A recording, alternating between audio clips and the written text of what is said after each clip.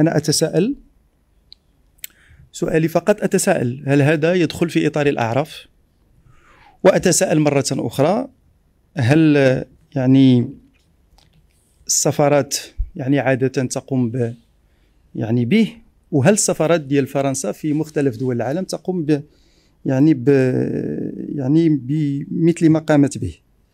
بخصوص